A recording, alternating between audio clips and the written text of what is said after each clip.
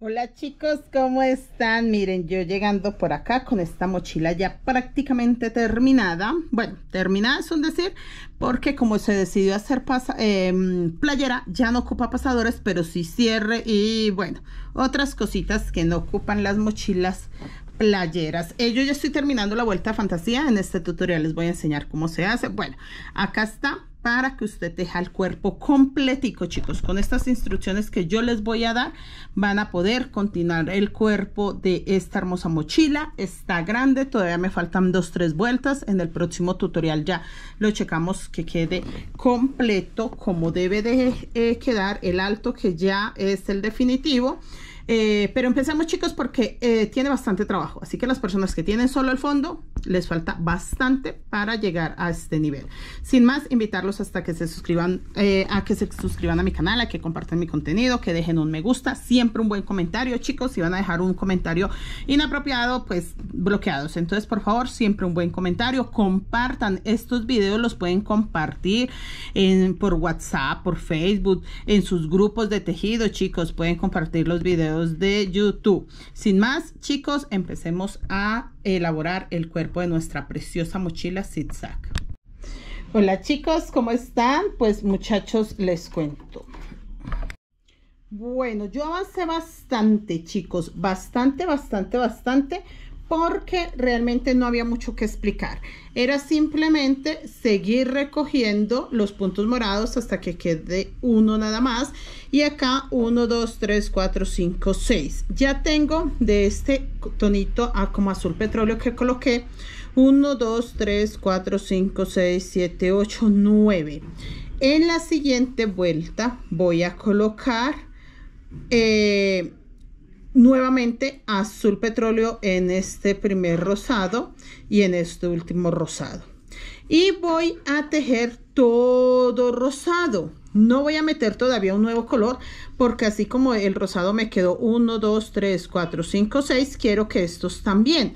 En el momento que yo pase acá donde estoy tejiendo 1 2 3 4 5 6 poder meter el siguiente color y que me queden 6 1 2 3 4 5 todavía no. Entonces quiere decir que yo voy a pasar porque ya voy a empezar la nueva vuelta acá terminé con el último morado voy a tejer todo esto de azul petróleo cerrar esta parte de acá totalmente rosado y eh, yo creo que terminando esta vuelta que voy a empezar ya puedo meter el nuevo color. Quise mostrarlo así para que ustedes tengan claro que es simplemente eh, ir disminuyendo el morado de la forma que ya les expliqué que es simplemente tejiendo rosado sobre morado rosado sobre morado y así se va disminuyendo este color y este ya se va a juntar acá. Listo chicos entonces todavía no puedo meter el nuevo color acá porque no me quedan seis a un lado y 6 al otro. Voy a continuar y ya les muestro para terminar esta mochila pronto. Bueno chicos, avancé bastante. Miren lo hermoso que se ve. Esa combinación de colores está espectacular. Acá eh, es la última parte que les voy a mostrar de cómo meto el siguiente color porque de esa forma lo van a hacer ustedes todos los colores que quieran cambiar. Todos, o sea, de acá para adelante eh, el tamaño o el, alto lo dan ustedes con el tejido. Aquí simplemente siempre voy a dejar un punto un puntico libre para empezar a tejer los del otro color. Listo y en la mitad que sobra un punto ahí es donde voy a colocar el azul clarito en este momento. Eh, pues mm, que sea necesario contar, si es importante para que el punto que van a colocar si quede en el centro y que la misma cantidad, en este caso de azul petróleo, queden para este lado y los otros queden para este. En total yo dejé 1, 2, 3, 4, 5, 6. O sea que 1, 2, 3, 4 5 y 6 vamos a tejer el azul hortensia esto es un azul hortensia o lo pueden dejar como azul bebé en mi caso es un azul hortensia un poquitín más oscuro que el azul bebé sin aumento. Ese punto lo hice en un punto normal, agarrando la pestañita de atrás, porque ya no estoy haciendo aumento. Y sigo tejiendo. Dos, tres, cuatro, cinco y quedaron seis. ¿Listo? 6 azul petróleo, 1 azul hortensia y de los rosados 1, 2, 3, 4, 5, 6, 7, 8, 9. En cada vuelta me van a quedar dos menos, dos menos, dos menos, dos menos, hasta que se cierre así como se han cerrado todos los otros colores. Eh, voy a avanzar y ya les enseño. Hola chicos, ¿cómo están? Miren cómo avancé. Ya eh, realmente esta mochila creció. Yo sé que hemos esperado mucho. Eh, para verla así de grande, pero es que quedó gigante, así de hermosa. Les voy a subir una partecita, eh, una partecita para que las personas que ya tienen el fondo puedan continuar. Eh, hasta que ya llegue al punto de los pasadores. Quedó grande. Realmente no he contado los puntos, pero sí sé que es una mochila grande, ¿ok? Si ustedes llevan una mochila grande al paso que van a crecer el cuerpo, ven que está muy grande, no se me preocupen es una mochila grande, ¿ok? Em, entonces chicos, bienvenidos a este tutorial que es eh, para continuar con la preciosa mochila de zigzag, es preciosa. Recuerden que le estamos haciendo juego con el monedero que ya tenemos el tutorial acá en YouTube. Ya les explico cómo la subí hasta esta parte que realmente eh, eh, con este tutorial ustedes lo único que tienen que hacer es, hacer es repetir, repetir, meter nuevos colores. Antes chicos de irme, mire, estoy metiendo todo todos los colores eh, diferentes. Por acá traté de meter un amarillo muy parecido al que tiene debajo. El salmón, si es el mismo salmón, azul rey, verde. Voy a meter encima de este naranja amarillo para darle bastante vida al cuerpo. Eh, pero la idea es eso, que cada vez que ustedes tengan que meter un nuevo color, como acá este verde, pues aprovechen y eh, sea un nuevo color, que no tengan que repetir tanto color. ¿Listo, chicos? Em, ya a esta altura se me están llevando 25 gramos por color. Es que siempre es harto, miren muchachos, todo esto va verde hasta acá. Eh, entonces ya llevo 25 gramos por color. Antes empecé con muy poquitos y ahora ya 25 gramos. Les... Les estoy, bueno, estoy enfocada en confirmar eso, la cantidad que deben de tener, porque si ustedes tienen muy poquito de algún color, no les alcanza. Este yo escogí 50 gramos y acá tengo algo más de 35. O sea que sí se va a llevar por lo mínimo, sí, por lo menos 25 gramos del azul.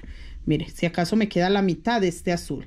Entonces, ah, pero una cosa, esto es macramé. También rinde menos el macramé. El crochet, por ser doble, eh, hebra, eh, bueno, no, por ser un milímetro, siento que es menos pesado y a la hora de trabajarlo trae más metros, ¿ok?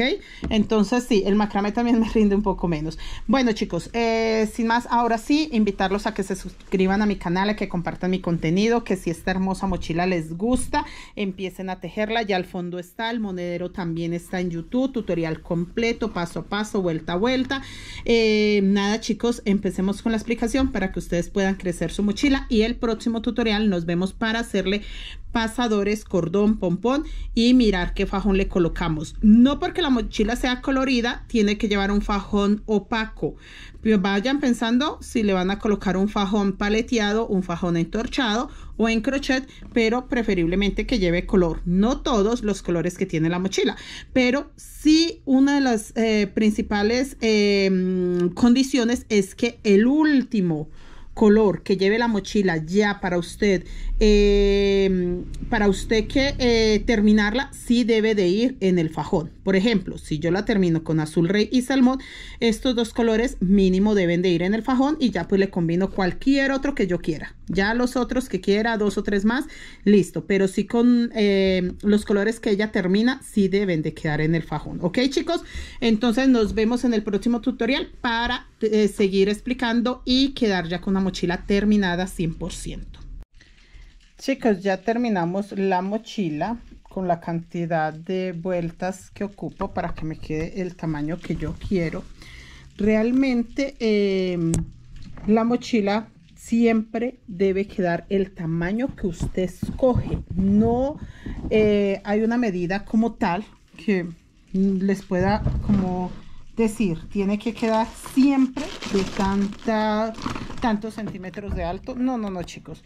Realmente la medida la escogemos nosotros eh, o el cliente en el momento que decide y eh, siempre, siempre en mi caso, me dicen quiero una mochila eh, con estas medidas de alto, con estas de ancho. Normalmente nunca sale el mismo tamaño. En este caso, esta mochila mide hasta ahí 28 centímetros. Hasta ahí mide 28 centímetros. Aún le vamos a dar unas vueltas más. Les voy a enseñar, pero son unas vueltas de fantasía. Vamos a hacer unas vueltas de fantasía. En mi caso yo la voy a terminar con amarillo. Ese amarillo me parece espectacular. Lo vamos a terminar con amarillo chicos, eh, con unas vueltas de fantasía. Estas vueltas de fantasía, como es una mochila playera, no va a llevar em, pasadores. No va a llevar ningún pasador. Simplemente vamos a colocarle cierre o cremallera que ya también lo enseñaré en el próximo video, pero hoy quiero dejarles el paso a paso de cómo le vamos a dar unas cuatro o seis vueltas. La verdad depende del alto que usted desee, si lo quiere bastante alto, si no lo quiere tan alto. Simplemente la punta de fantasía la vamos a tejer de esta forma. Acá ya terminé la vuelta de toda porque toda me quedó con un punto naranja, un punto naranja, un punto naranja. Entonces, y tienen que contar también la cantidad de puntos. Que tenga la misma cantidad de puntos azules acá igual acá, igual acá. Entonces con eso ya damos por hecho que se terminó la mochila. Este puntico de fantasía se puede tejer, eh, no, se puede tejer, no, de hecho lo voy a tejer solamente en amarillo, no voy a variar y se teje uno, dos, tres puntos bajos y el tercer punto bajo se devuelve al primero y agarra el punto completo. Es un puntico de fantasía muy bonito que a mí me gusta mucho. Entonces lo voy a explicar tejiendo eh, tres puntos de diferente color para que ustedes entiendan la idea. Pero la mochila en sí o las vueltas que voy a dar las voy a tejer solamente con amarillo. Entonces cambia color para que se entienda mucho mejor. Y se va a tejer uno, dos, y tres puntos. El tercer punto sin terminar me devuelvo al primero que acabo de hacer y traigo el hilo hasta ahí. No es hasta acá, no es ahí a cerrarlo, no. Abro mi punto donde va, termino el punto. Voy a mostrarles con otro color para que entiendan la idea bien clara. Entonces este punto no lo va a terminar con azul, lo vamos a terminar con naranja. Y vuelvo a tejer en el siguiente punto. 1 en el siguiente 2 y en el siguiente 3 sin cerrar el tercero vengo al primero de los tres que acabo de hacer. Traigo hilo me quedan tres hilos en la aguja y los cierro juntos. Así voy a hacer todo con amarillo. Por este lado se pueden ver un poquito los hilos eh, alma pero esto me ayuda a darle un grosor muy bonito a la mochila. Entonces yo no quiero quitar los hilos alma para que me quede grueso este borde. Podemos hacer, eh, tejer tres, cuatro vueltas. Yo en el próximo tutorial donde les voy a enseñar cómo se le coloca el cierre, voy a mostrar pues de cuántas vueltas me quedó. Listo chicos, entonces esa puntadita de fantasía la vamos a hacer para darle borde a nuestra mochila playera que nos está quedando muy bella. Entonces eh, vamos a tejer. En el primero los tres puntos que tengo puntadita de fantasía y vuelvo a hacer.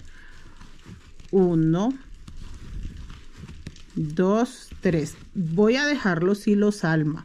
Eso los voy a conservar. Ya no voy a utilizar más colores pero voy a conservar esos hilos alma para que me le dé grosor a mi proyecto. Acá. Que se estire ahí. Y volvemos. 1 2 y 3 devolvemos al primero traemos el hilo y ahí seguimos. Uno dos y el tercero sin cerrar de esa forma listo chicos nos vemos en el próximo tutorial. Invitarlos a que se suscriban a mi canal, a que dejen un me gusta, un buen comentario, que dejan esta mochila tan preciosa que está quedando muy bella, muy grande. Pero ahora que la vamos a dejar como mochila playera, vale la pena tejer este hermoso proyecto que a pesar que es bien grande, la verdad son de esos proyectos que queremos eh, eh, hacer para vender. Chicos, invitarlos a que se suscriban a mi canal, que compartan mi contenido y dejen siempre un buen comentario.